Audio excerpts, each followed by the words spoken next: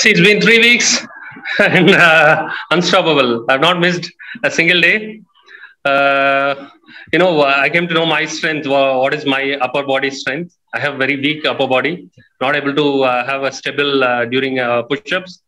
Now I feel a lot of flexible in my upper body and a lot of stiffness in my thighs and lower legs.